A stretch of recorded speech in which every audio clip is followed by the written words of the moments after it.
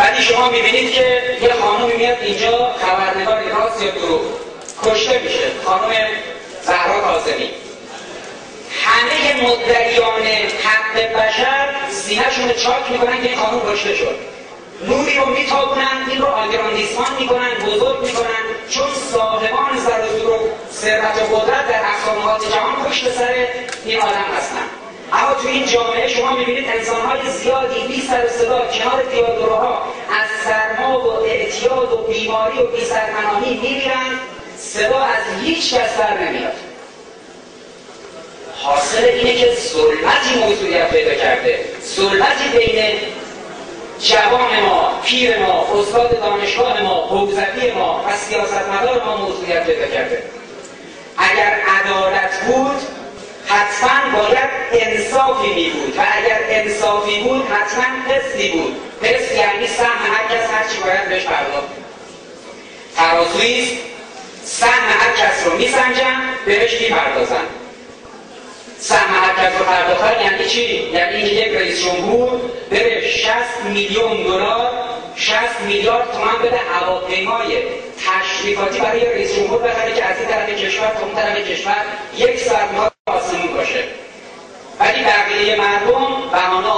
که نه به ما چون در تحریمیم هواپیما نمیفروشن.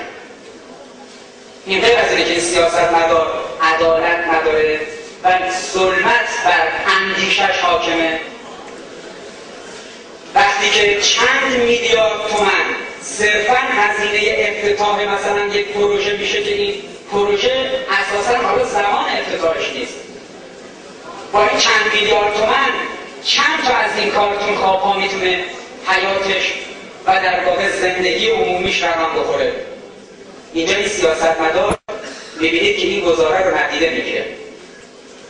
یه کسی توی خبرگان رهبری مثلا درجه آیت اللهی داره یه جایی دیگه مسئولیت داره وزیر وکیل رئیس قوه است می‌بینید که بن سوار میشه. آیت خدا یعنی چی؟ آیت الله. خب آیت الله بعد آقا من یه گوشه از این حکومت رو اداره می‌کنم وزیرم وکیلم قوه رهبری هم اگر این بنز ازش بیام پایین پنجاه از این کارتون خوابها رو میشه سر سامان داد.